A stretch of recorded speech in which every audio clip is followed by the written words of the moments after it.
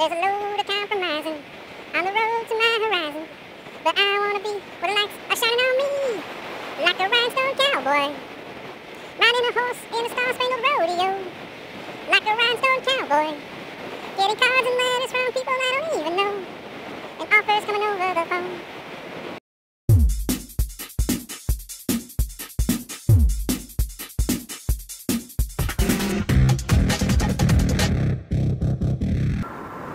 Trying something new. Normally I get off at the exit before this, but if I go down two or three exits, I actually cut out a whole bunch of traffic light stop and go action. And now that I'm feeling more comfortable riding the scooter at highway speeds,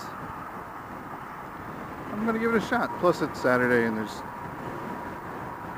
not a lot of people on the road. People aren't driving too fast, so it's not too bad. Only going 60 and 65 and I'm obviously keeping up with the people in front of me. It's been about four months since I started riding, and I know that's basically nothing for a lot of people. But I also I like to um, kind of reflect back on where I've come every month or so.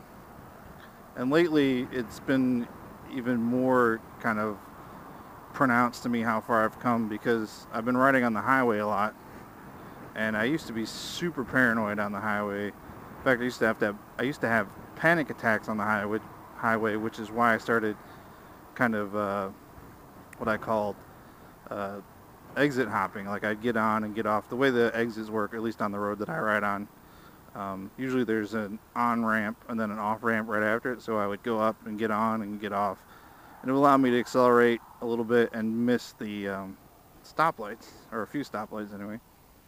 But lately I've been just riding on the highway. And in fact, um, yeah, I feel pretty comfortable riding at 65, 70 miles an hour. Now the scooter, uh, around 70, depending on the day and the wind conditions, feels a little unstable, but not horrible. One of the things I realized uh, recently as well is that I used to think the scooter was super unstable, especially in windy conditions.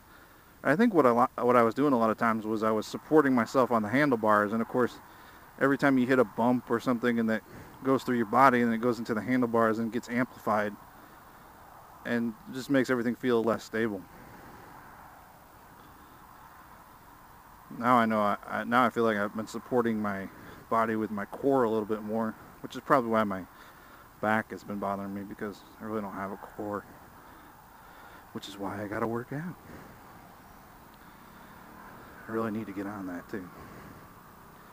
Been slacking, slacking on the workouts. So I used to go just ride around on the weekends, just for the fun of it. And I still want to get out and ride. I just, I get really bored when I go out and ride just for no reason.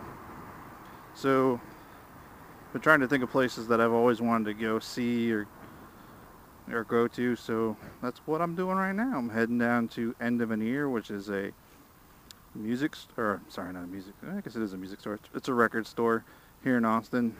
Um, it's kind of South Austin, which I've always kind of avoided driving down to because it makes for a really long drive. But anyway, I wanted to go for a long ride today anyway. Um, yeah, because nothing says you're a hipster like black frame glasses, riding a scooter, having a beard, and collecting vinyl. I collect vinyl. What can I tell you? All I need is the skinny jeans, but still too fat for those. Uh, for the record, I'm not trying to be a hipster. Zero desire to be a hipster, but every time I tell people what I'm into, it just cracks me up because I sound like a hipster.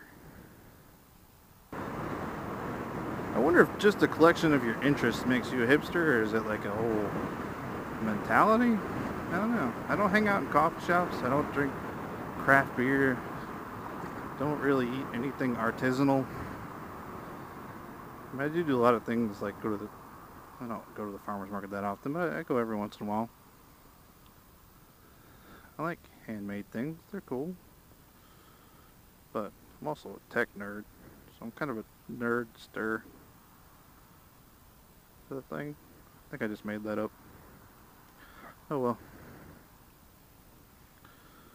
Here's somebody on a scooter.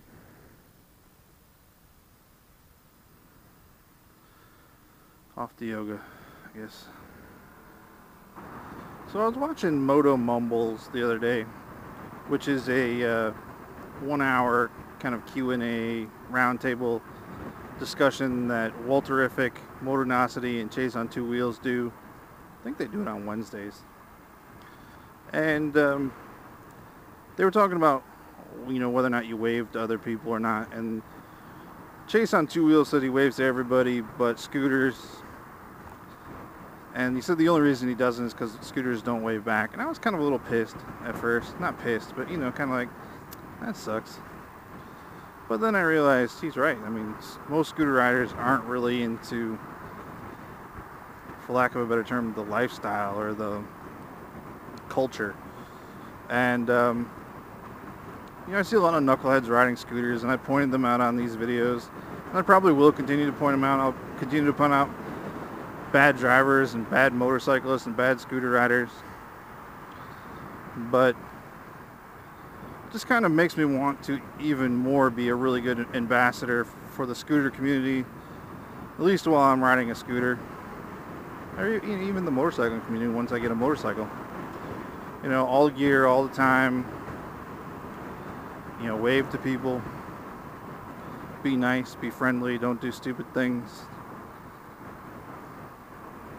I used to not wave to people when I first started. Just it was kind of a social experiment for me. I wanted to see who would wave back. But then I was kind of like, but then I started thinking, you know, I should probably wave to them, and if I wave to them, maybe they'll wave back. It is kind of that um, a bit of like wave chicken when you see another uh, person riding a two-wheel vehicle. Who's gonna wave first?